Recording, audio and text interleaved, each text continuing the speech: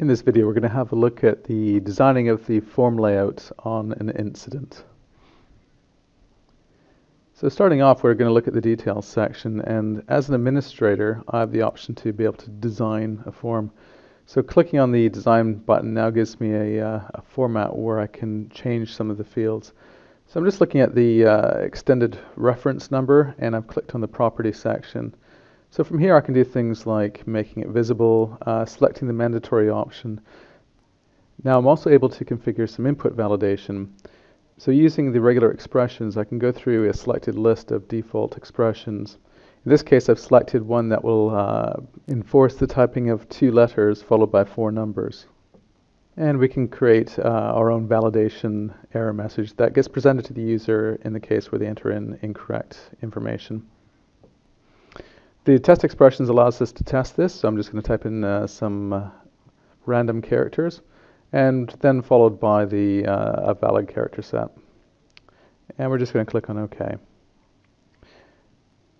We can also change the order that these fields are displayed within this section, so I'm just going to take the uh, extended reference number and I'm going to drag that up to the top.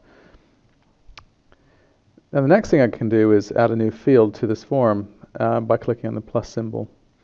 So here I'm just going to put in uh, the, the title for the field name and call it impact.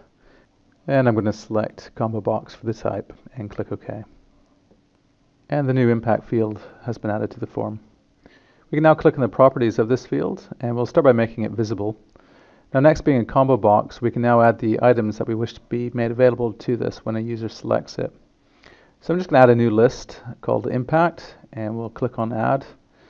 And now we can add the different items. So we'll start with one user and we'll click on OK. And some users as our next item. And click on OK. And finally, add the last lots of users. And once you've completed all your changes to the form, you can then simply click on the Publish button, which then make these available to all your users. So here we're just going to click on edit. We'll see our external reference number up at the top of the form.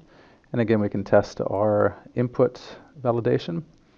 And we also see our new pick list down the bottom labeled impact.